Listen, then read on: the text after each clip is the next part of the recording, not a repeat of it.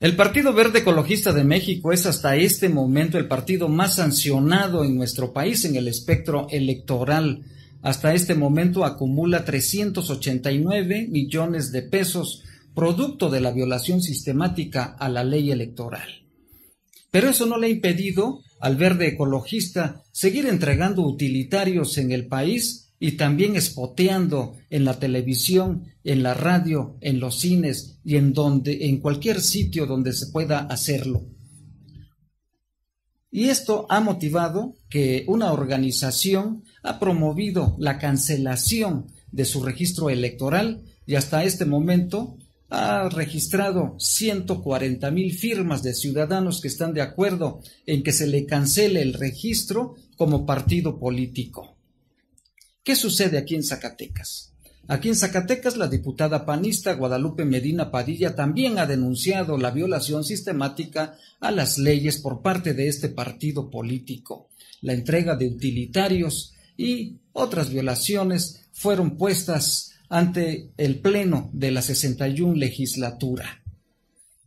Pero, sin embargo, cuando se trató de confirmar parte de estas denuncias, la reportera Alejandra Alvarado fue agredida cuando se entregaban lentes por parte de este partido político a través de una cadena de ópticas a simpatizantes del mismo que estaban formados para obtener este beneficio. Se le impidió su trabajo periodístico y se le agredió físicamente. ¿Y cuál es la respuesta del Partido Verde? El silencio. Su dirigencia estatal que por cierto es el vocero de este partido político a nivel nacional, el senador Carlos Puente, no ha dicho una sola palabra y es su responsabilidad, porque aquí es también el líder estatal del Verde Ecologista de México.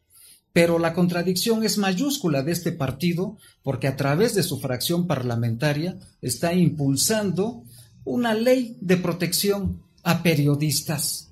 Es de risa que este tipo de contradicciones se lleven a cabo en estados como Zacatecas, en donde es manifiesto la inhibición del ejercicio periodístico de algunos medios de comunicación.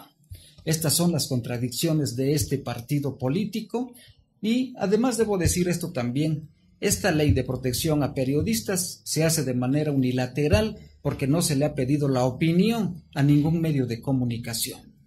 ¿Qué contiene? Lo ignoramos. Pero vamos a tratar de investigar en qué consiste esta iniciativa.